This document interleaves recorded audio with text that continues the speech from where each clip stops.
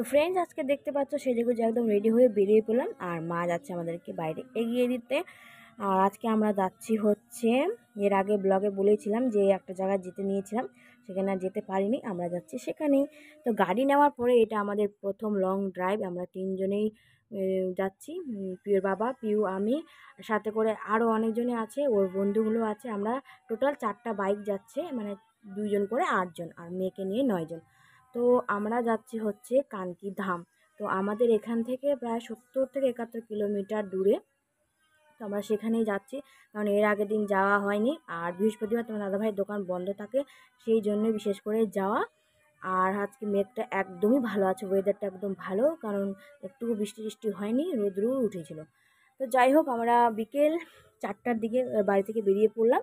আর ওখানে যেতে যেতে প্রায় আমাদের দুই আড়াই ঘণ্টা টাইম লেগেছে কারণ বাচ্চা ছিল সাথে মিনিমাম সাড়ে ছটার দিকে আমরা ওখানে তো চলো যাওয়া যাক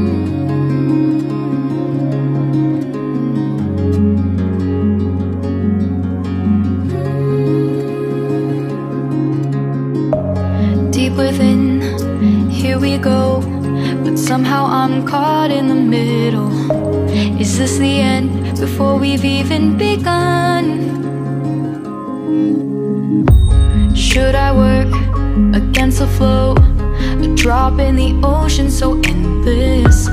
Reaching for our moments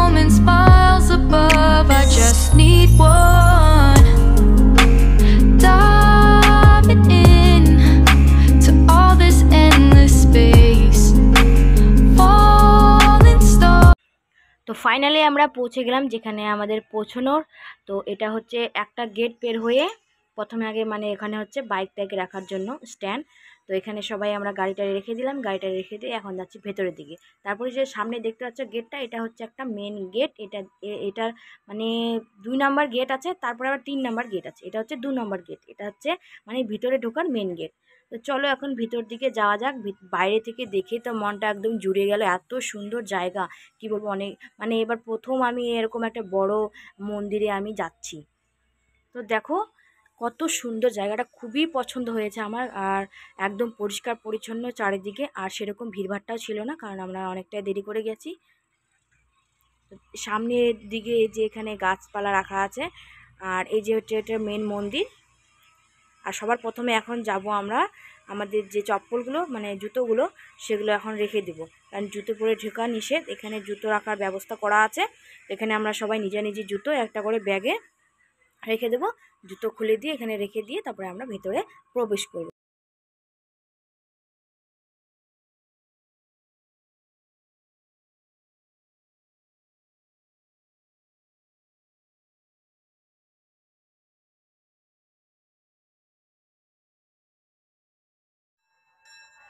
তো সবার প্রথমে ঢুকে এদিকে দেখো সাইডে আছে একটা গণেশ ঠাকুরের মন্দির। আর এখানে মন্দিরটা মানে গণেশ ঠাকুরের মন্দিরটা খুবই সুন্দর লেগেছে আমার খুব সুন্দর করে সাজানো ছিল। আর মেয়ে এখানে দেখছি মুখের মধ্যে আঙুল ঢুকোচ্ছিল আর কি বলব? তো ওখানে এসে কিন্তু প্রচুর খুশি হয়েছিল।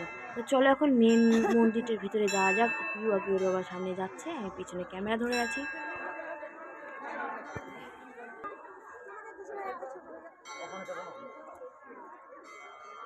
啊，他们说这是他第一个项目。嗯，这，这，啊。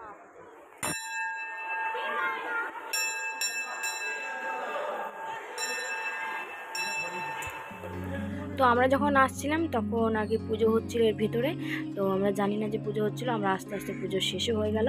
তো ভিতরে মানে ক্যামেরা করা মানা আছে সেই জন্য তোমার দাদাভাই বাইরে থেকে একটু ক্যামেরা করছে। আর জায়গাটা প্রচুর সুন্দর, একদম খুবই সুন্দর। এত সুন্দর করে সাজানো ছিল আর কি বলব। আর মানে সব ঠাকুরগুলোর গায়ে হচ্ছে সোনার উপর লাগানো ছিল, সেই জন্য হয়তো দিচ্ছিল না। তো যাই হোক, আর ভিতরে গিয়ে আমার খুব ভালো লেগেছে। এত পরিষ্কার, পরিচ্ছন্ন, আর চারিদিকে এত সুন্দর করে সাজানো ছিল। তো সবাই মিলে আমরা আমরা ঢুকে গেলাম দেখতে। আর প্রিয় বাবা বাইরে থেকে ভিডিও করছে। ও ও, আমরা সবাই মিলে একবার ঘুরেই গেছি। তারপরে বাইরে থেকে আমাকে ভিডিও করে দিচ্ছিল। আর আর বেশি কিন্তু ভিড় ছিল না। এখানে পুজো ছিল মানে পুজোর এই ঘরটাতে একটু লোকজন ছিল। পুজো হয়ে গেল বা সব ফাঁকা হয়ে গেল। সবাই চলে গেল। জায়গাটা খুব ভালো লাগে